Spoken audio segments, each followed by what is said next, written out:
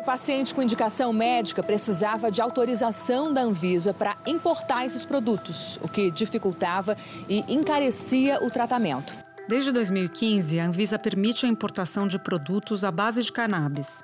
Em 2019, uma regulamentação da agência permitiu a comercialização desses produtos em farmácias. Agora, quem tiver uma receita médica vai poder comprar os produtos à base de cannabis em farmácias e drogarias sem manipulação.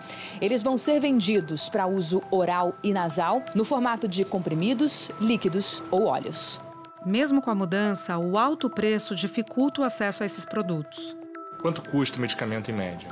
De 700 a 1.600 reais. O preço alto impede que famílias mais pobres tenham acesso ao canabidiol. Famílias que encontram nesses medicamentos uma solução para problemas de saúde que não respondiam a tratamentos convencionais, inclusive com crianças. Ela, antes da cannabis, ela convulsionava muito, tinha mais de 100 crises, gerava até internação. Foi testado mais de, de cinco medicamentos, ineficaz, né? não teve resultado. E quando começou a iniciar com a cannabis, ela mudou praticamente. Teve movimentos na parte cognitiva, ela passou a ter vida. O cannabis deu vida para Letícia. Foi nítido o resultado, porque os espasmos que ela tinha o dia inteiro direto, que faz sentir muita dor, diminuiu muito. E sem uma regulamentação nacional para incluir esses medicamentos no SUS, governos estaduais começaram a se movimentar por conta própria. O governo de São Paulo estabeleceu as regras para o fornecimento gratuito de remédios à base de cannabis medicinal, o canabidiol. Os pacientes precisam ter indicação médica, acompanhamento periódico e seguir protocolos clínicos. Agora é lei no Rio, hein? O SUS vai distribuir medicamentos à base de canabidiol para famílias de baixa renda e que têm prescrição médica. A lei Pétala, que fala sobre o uso de medicamentos à base de canabidiol no Paraná, foi regulamentada pelo Estado. Agora, mais de um ano depois de a lei ser regulamentada pelo governo de São Paulo, os medicamentos devem ser ofertados no SUS de todo o estado a partir de maio. Da redação do G1, eu sou Júlia do Alibe e o assunto hoje é a distribuição de remédios à base de cannabis pelo SUS. Um episódio para entender como vai ser o acesso aos medicamentos em São Paulo e os entraves para universalizar a oferta em todo o Brasil. Meu convidado é o psiquiatra e neurocientista José Alexandre Cripa, professor da Faculdade de Medicina da Universidade de São Paulo, em Ribeirão Preto, e um dos principais pesquisadores em canabidiol do país. Quinta-feira, 11 de abril. Doutor José Alexandre, a distribuição de medicamentos à base de canabidiol no sistema público de saúde está prevista para começar no estado de São Paulo em maio. Esses remédios vão ser oferecidos a pacientes que têm três condições de saúde consideradas raras. Eu queria que o senhor explicasse que doenças são essas e como a maconha medicinal pode ajudar no tratamento delas. Bom, essas doenças são doenças, eh, como já disse mesmo, raras. Foi a primeira eh, indicação e foi feita nos Estados Unidos para essas condições através da, da prescrição do canabidiol. São as síndromes de Dravet e também Lennox-Gastaut e ainda a esclerose tuberosa. E aí, dentro dessas doenças, existem 33 tipos de medicamentos à base de cannabis que são autorizados pela Anvisa e que vão ser distribuídos para os pacientes que fazem tratamento e que têm indicação médica para isso. Essas são medicações que classicamente eh, são epilepsias que já cometem já na infância ou seja, as crianças já começam a ter essas crises convulsivas com essas doenças, e normalmente os anticonvulsivantes tradicionais melhoram muito pouco ou não melhoram essas doenças. Né? E foi descoberta, na verdade foi uma descoberta brasileira na década de 70 que o canabidiol, uma, um dos compostos da cannabis sativa, poderia melhorar essas condições. Por que, que ele melhora de maneira considerável, doutor? Há várias hipóteses, mas nenhuma definitiva. Provavelmente porque essas condições, esse, esse tipo de epilepsia, eles envolvem, é, provavelmente, também um, um, sistema que foi descoberto na década de 90, no comecinho da década de 90, chamado sistema endocannabinoide. Ou seja, são alguns receptores para canabinoides presentes no cérebro e provavelmente agem é, é nesse mecanismo. Talvez também outros mecanismos envolvidos, como, por exemplo, o efeito antioxidante, o efeito anti-inflamatório do canabidiol, um efeito também sobre alguns outros receptores chamados vaniloide, que talvez possam explicar essa melhora e por que, que funciona para essas condições. Doutor, a maconha é formada por uma série de compostos e a gente está falando agora especificamente sobre um deles, que é o canabidiol, o CBD, que é o que vai ser usado para esses medicamentos que serão distribuídos no SUS. Mas tem um outro composto que é muito conhecido também pelos seus efeitos psicoativos, ele é até é um pouco estigmatizado, que é o tetrahidrocannabinol. Explica para gente a diferença entre o CBD e o THC? É o que acontece é o seguinte: a planta, há muita confusão nesse aspecto. A planta cannabis sativa tem mais de mil substâncias, sendo que em torno mais ou menos de 100 são o que a gente chama de canabinoides, ou seja, que agem nesses receptores é, endocannabinoides. É, os mais comuns é o canabidiol, que não dá barato, é, é o primo careta da, da maconha, e o THC, que dá o barato. As pessoas fumam é, a maconha não por causa do canabidiol, elas fumam por causa do THC. Em dose baixa, ela relaxa, é, dá aquela sensação que algumas pessoas descrevem de uma maneira é, euforizante em algumas situações, mas que em dose alta pode induzir quadros é, de ansiedade intensa ou até quadros psicóticos. Então, é, são duas substâncias distintas, apesar de estarem presentes na mesma planta e de terem uma estrutura química completamente diferente. Embora é, haja é, algumas pessoas achem assim, ah, o, o canabidiol é, o, é, do bem e o THC do, é do mal.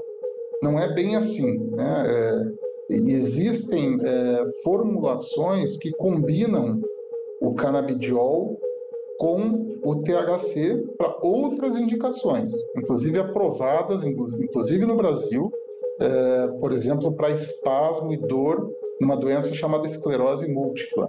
Só que eles apresentam efeitos distintos.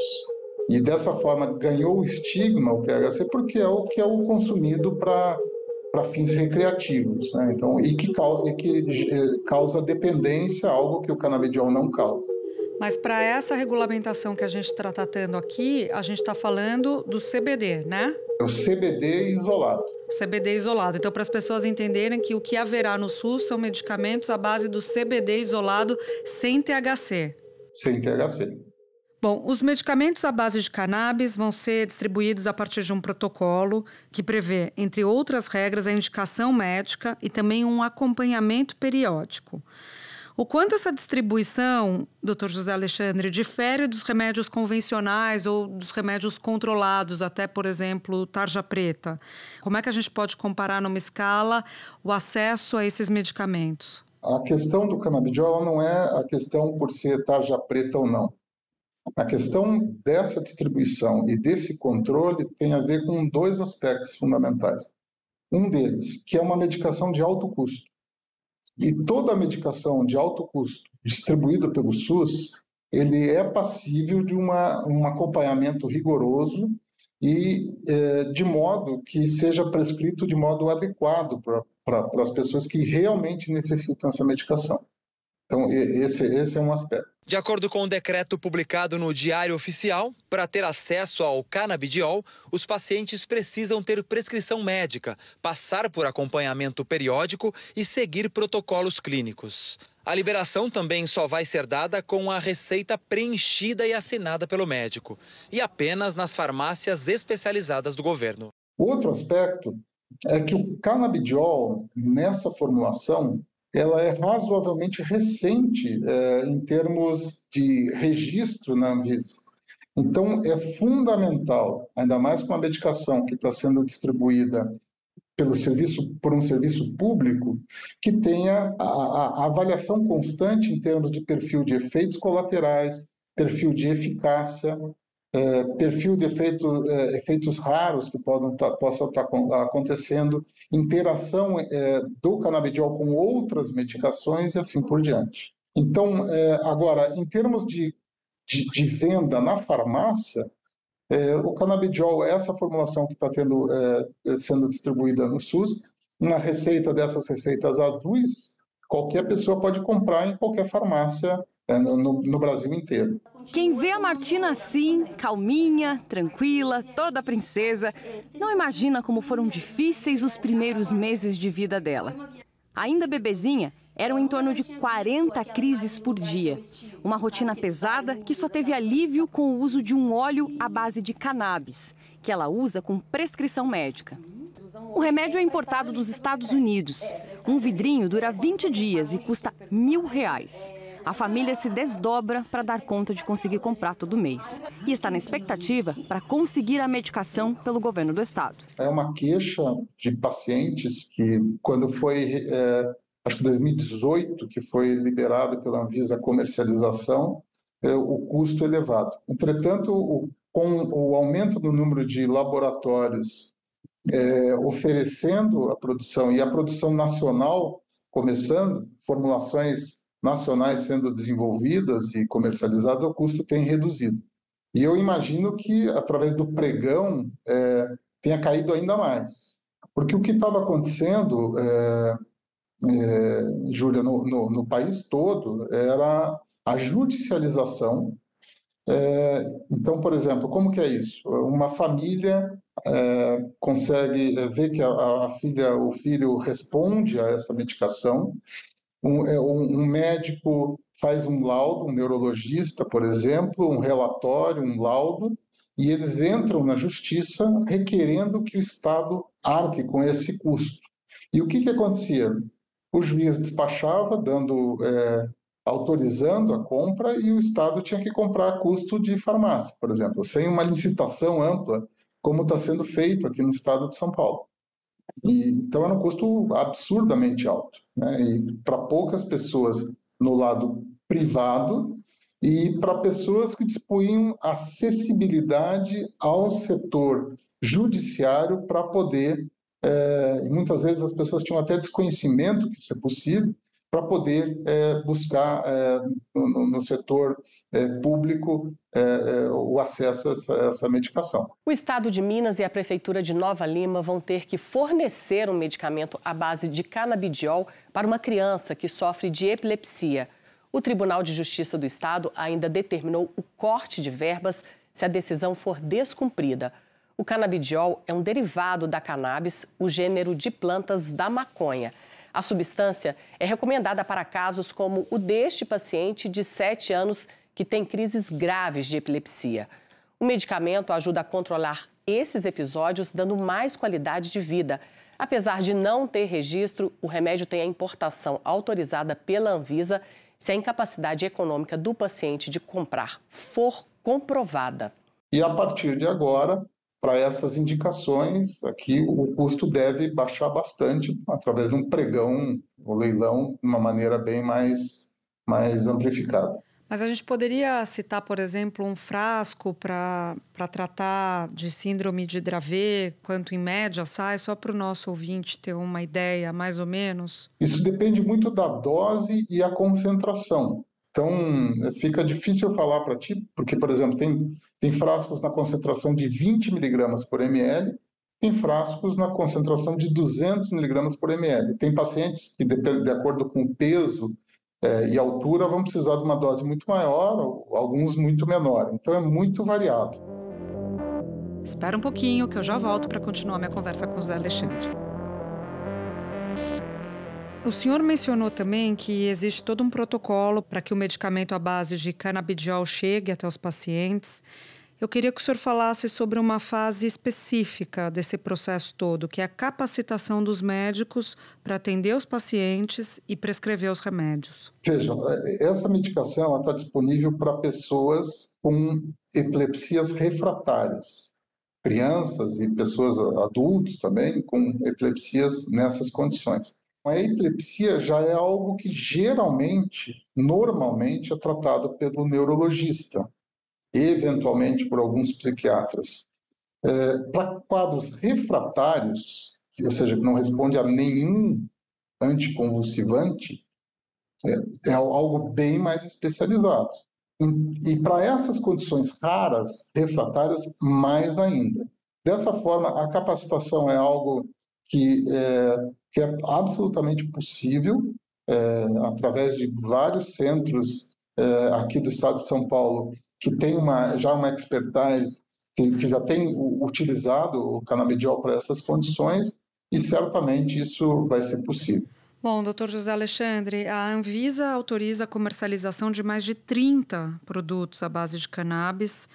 Isso já ocorre em farmácias brasileiras, é claro, com autorização da agência. Mas o que a gente está falando aqui hoje é de uma autorização para esse remédio ser distribuído pelo SUS apenas em São Paulo e apenas para três doenças. Qual a importância de aumentar esse acesso e quais os entraves para que isso aconteça? É uma medida, acho que muito vem muito em, em, em bom momento. Né? Primeiro, é, é, é algo no arsenal do médico é, uma medicação que eventualmente possa trazer um benefício para, é, especialmente crianças que não estavam é, conseguindo ter uma qualidade de vida muito prejudicada, e só isso já justificaria esse aspecto. Né? E temos várias medicações autorizadas, atualmente comercializadas, a preços bem altos para outras doenças raras, como, por exemplo, a fibrose cística, uh, e outras condições. Né? Então, a, a ampliar e acess, trazer o acesso para esse, esse diagnóstico é bem interessante. Segundo, é, foi, eu acho que foi muito é, bem-vindo a, a, medida do, do, do, governo do Estado de São Paulo por formar uma comissão é, multidisciplinar para avaliar e desenvolver esse protocolo. Acho que dessa forma, melhor forma, certamente. E, de fato, talvez São Paulo possa é, estimular outros estados a fazer a mesma coisa, né? é, a, a, trazer o benefício é, de uma maneira controlada, adequada, correta para essas, esses diagnósticos. Quais são os próximos né, desafios? É reduzir o custo do, do, dos produtos. Né? Isso é possível. Tem vários mecanismos que poderão ser possíveis. E da mesma forma, ampliar o rol de possibilidades terapêuticas, além desses diagnósticos. A pandemia nos lembrou, trouxe de uma maneira muito adequada isso em relação às, às vacinas.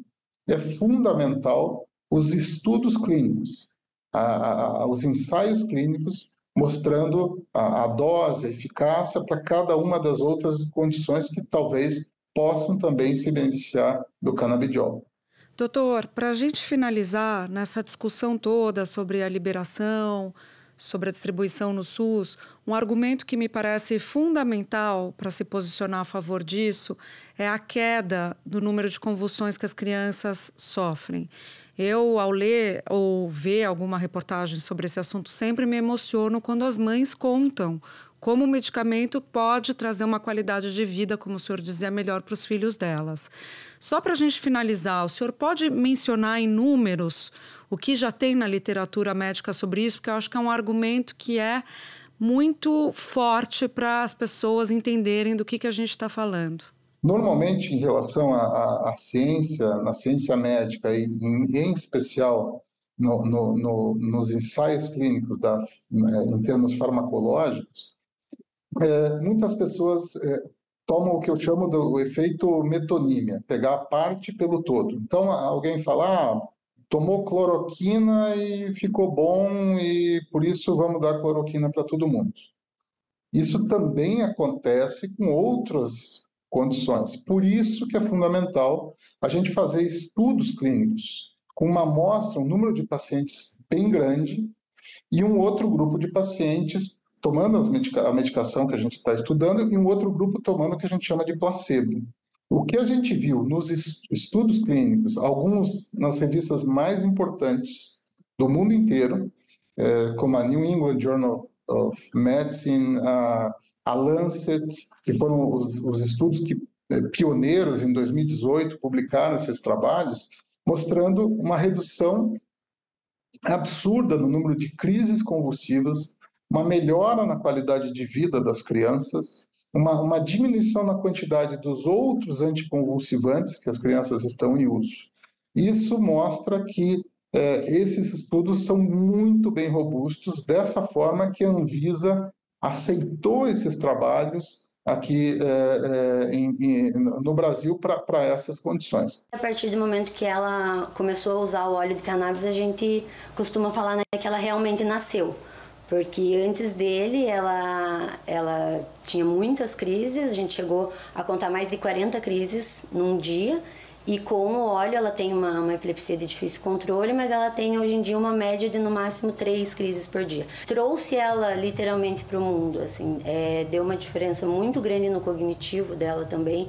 Então a gente percebeu que a partir do momento que ela passou a usar o óleo, ela passou a se perceber, a nos perceber, a perceber o mundo e ter condição de se desenvolver. Nós é, concluímos um estudo que está em avaliação pela Anvisa, da mesma forma, e os resultados são muito robustos, mostrando que, de fato, há uma redução muito grande é, no número de crises convulsivas, na amplitude, na gravidade das convulsões, na sobrevida das crianças em longo prazo.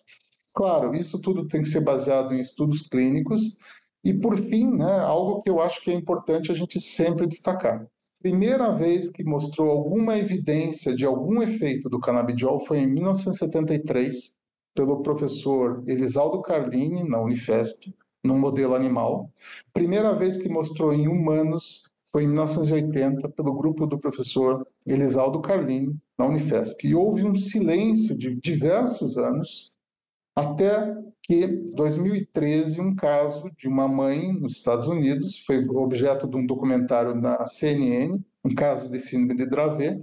Uh, a mãe resolveu ver alguns trabalhos de uns brasileiros malucos ali da década de 70 e 80 e deu para a filha o caso Charlotte, que ficou conhecido, e aí mudou toda a história. Depois tivemos aqui no Brasil o caso Anne Fischer, um caso também emblemático, bem importante, que aconteceu a mesma coisa. A primeira dose que nós demos para ela não foi só a dose. Foi uma dose com uma carga de esperança tão grande que a gente, a gente deu para ela chorando, né? A gente chegava perto da Anne, falava o nome dela e ela olhava a gente nos olhos. Isso não tem, não tem palavras. Isso vale qualquer, qualquer sacrifício, qualquer esforço, você saber que ela voltou a te olhar nos olhos. Então, às vezes, a ciência ela não vai tão rápido como a necessidade das pessoas. Mas muitas vezes a gente precisa balançar as duas coisas para chegar no bem comum. Sem dúvida, doutor José Alexandre, muito bom falar com o senhor. Muito obrigada por essa entrevista esclarecedora. Boa sorte e até a próxima. Obrigado. Este foi o assunto, podcast diário disponível no G1, no Globoplay, no YouTube ou na sua plataforma de áudio preferida. Comigo na equipe do assunto estão Mônica Mariotti, Amanda Polato, Carol Lorenzetti, Luiz Felipe Silva, Thiago Kazuroski e Gabriel de Campos. Neste episódio colaborou também Sara Rezende. Eu sou Júlia do Alibe e fico por aqui. Até o próximo assunto.